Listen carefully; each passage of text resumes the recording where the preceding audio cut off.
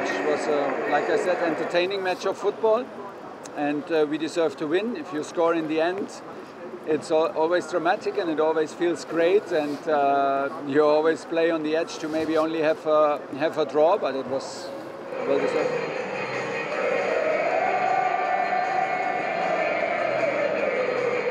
Can hear, the fans adore you. What does that mean to you to have a reception like this? A lot. I think um, they always stay behind me, behind the team. I think they, they want they want to push me. They want to that I play my best level here, as I did it in the in the past.